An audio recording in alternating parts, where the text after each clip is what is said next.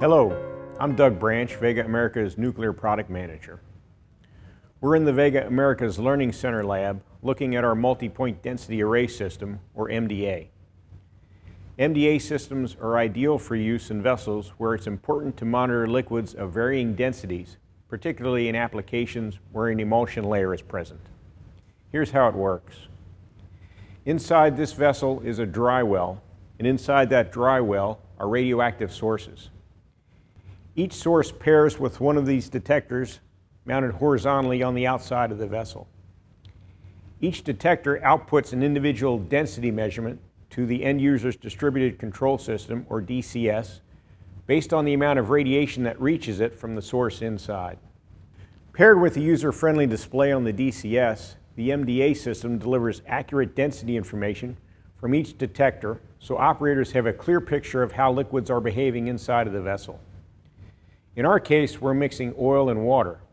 As you can see on the display, oil, represented by a black bar, is settling out on the top. The emulsion layer, where the two liquids mix, is represented by the brown bar in the middle. Finally, water, the densest product, settles out on the bottom. On the display, water is represented by a blue bar. You'll notice the emulsion density value falls between the density of the other two liquids. This information is immensely important for process operators.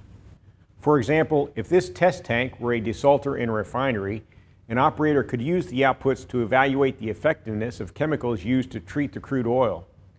He could also monitor the separation of the water containing dissolved salts and minerals from the oil. This information alerts users to take corrective action in the case of overcarry which happens when the treated water exits the top of the desalter, potentially upsetting refining process efficiency, or undercarry, which happens when the crude oil exits the bottom of the desalter. Refineries want to avoid undercarry because it can harm the environment and result in serious financial penalties. To recap, Vega's multi-point density array system provides individual density measurements to give operators greater insight into and control over their processes. This reliable technology is unaffected by changing temperatures and it's practically maintenance free because the external detectors don't touch the materials inside of the vessel. When it comes to measuring changing interfaces of difficult liquids, the MDA is an accurate, dependable solution.